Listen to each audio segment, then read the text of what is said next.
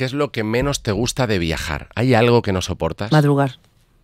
Lo detesto. O sea, detesto madrugar, aunque sea para un viaje de ocio. A mí me dicen, pero ponte contenta, pero si nos vamos, pues es que yo no entiendo que me tenga que levantar a las tres y media de la mañana. Eso no está pagado. Eso no está pagado.